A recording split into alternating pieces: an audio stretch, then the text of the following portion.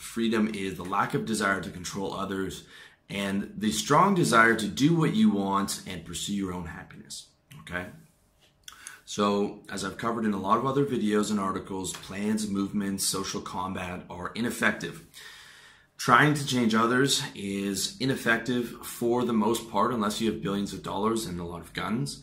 And even then, it makes you remain enslaved to them. Um, with power comes responsibility. You are responsible for the people when you have power over them, and your day and night is going to be devoted to that particular cause, and there will be a ton of setbacks and a ton of problems. And as I've said in my other videos, even then, the system of governance that we had doesn't. I mean, we haven't seen a large society that's that's highly functional since the invention of agriculture because it's it's extremely difficult for these large societies to work. And it's just not the path that I recommend okay? If you want to get into politics and try and change the world plenty of other sites with guys getting angry and frustrated with the way that things are and talking about the great change that they're going to make. So I suggest that you watch those and watch those videos.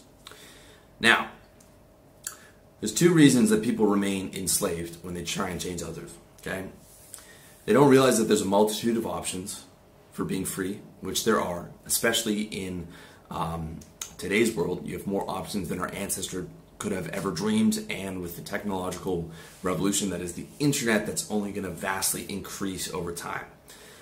And number two is they accept um, that they won't challenge the that they accept without challenging the assumptions that restrict their freedom. Okay, they don't challenge the assumptions, well, I can't do this because of X. They don't just say, well, could I do that? You know, do I have to have this house? Do I have to get married? Uh, they just say, well, this is what I have to do, okay? If you've worked in the corporate world, you will learn and you will listen to grown men, men in their 30s, 40s, 50s, talk about what they have to do, and their, the vast majority of their life is what they believe they have to do. When in reality, they just haven't questioned the assumptions uh, behind that.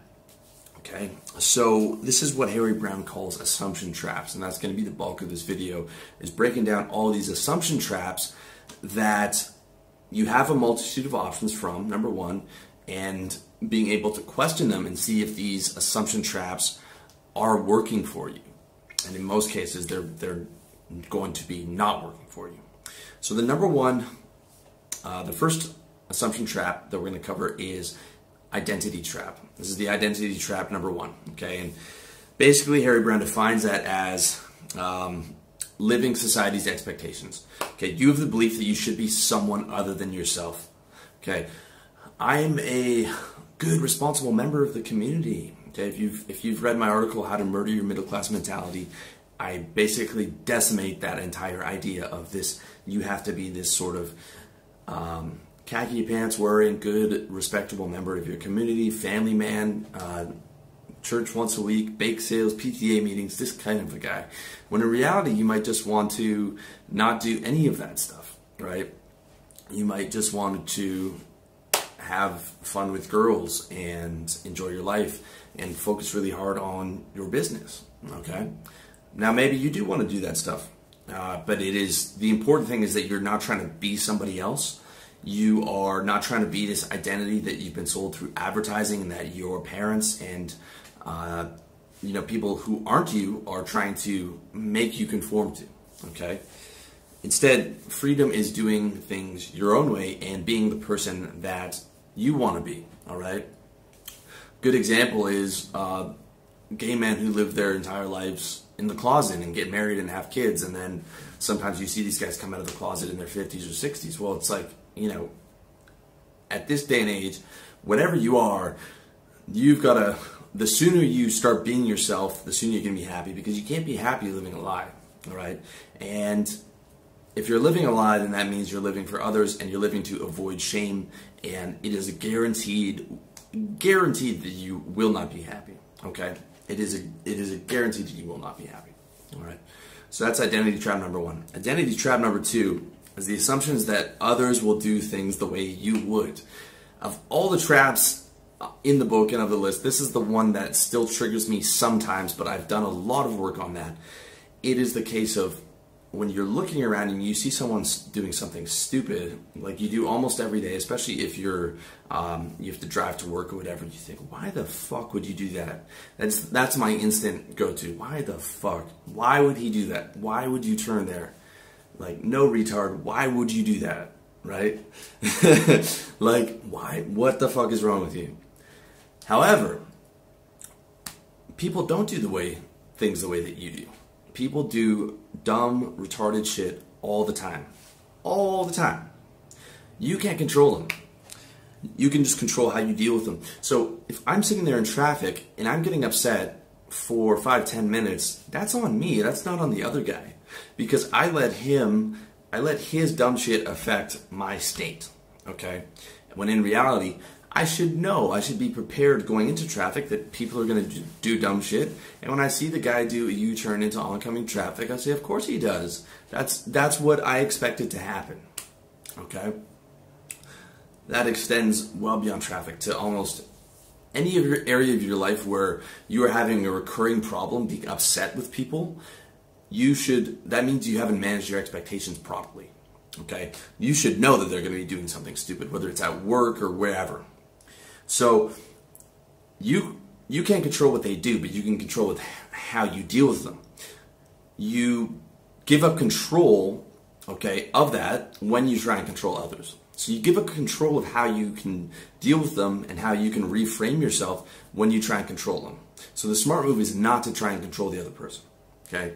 Not to try and control the other person. Smart move is to choose freedom over power. All right? And hence me being out here and not being a sales manager back in Toronto, trying to whip people and control them and make sure that they do their sales calls right and all kinds of other unfun things. And it's a large part of why I don't um, have employees for my business. I don't even have a VA or uh, I don't. I try and contract as little as possible because I know that it's most likely not going to be done to the standard that I want it to do. All right. In the future, I might choose to have uh, a contractor, but what I would choose to do, okay, in the terms of how I can control the situation, is I'd rather have one guy pay him a lot of money and then have him subcontract out all the other problems. Basically, I just talk to one very smart, very capable guy, and then he handles all the problems for me. And whether he, if he wants to subcontract that out, I don't care, just as long as it gets done. And I know that, that that's the way that I would have the least possible headaches. Okay, the number one problem in business 90% of business stress as a business owner comes from having employees okay? The more you try and take on responsibility and control people the more stress you're going to have because people always fuck things up. And if you're a high iq self-starter autodidact and the biggest mistake you can make is thinking that other people are going to be high iq self-starter autodidacts because they're not. They're not like that whatsoever and you just have to accept that reality and you have to think well am I really that smart if I keep letting other people upset me and I keep trying to control other people? The answer is no. The smart thing to do is to control what you can control, control and not try and control other people. Just control with how you deal with them, right? If you have negative people in your life who are constantly fucking up your life, then you just get rid of them instead of trying to control them. You focus on, you know, what the best, uh, most applicable solution is to that problem, right? So that's identity trap number two. Next trap is the intellectual trap, okay? This is the belief in the emotions you should have instead of the emotions you do have. If you are a high IQ intellectual guy, you might convince yourself that you are logical and rational, okay?